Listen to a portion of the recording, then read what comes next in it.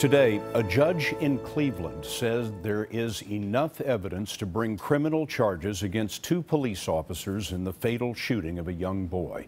The charges include murder.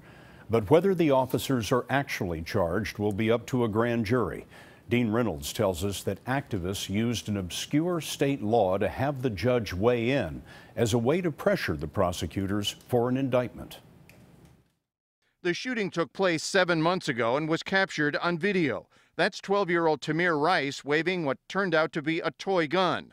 A 911 caller that day alerted police and said the gun might be fake. You know, it's probably fake, but he's like pointing it at everybody.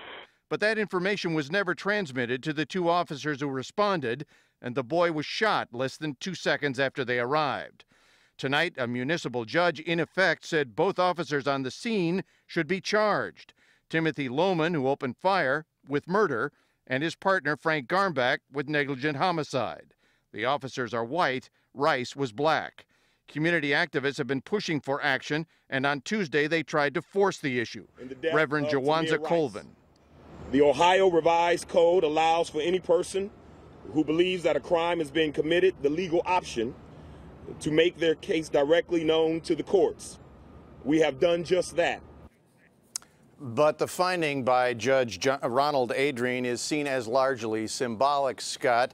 It will not force the hand of the prosecutor, Timothy McGinty, who released a statement tonight saying that the ultimate decision on charges is up to the grand jury and always has been.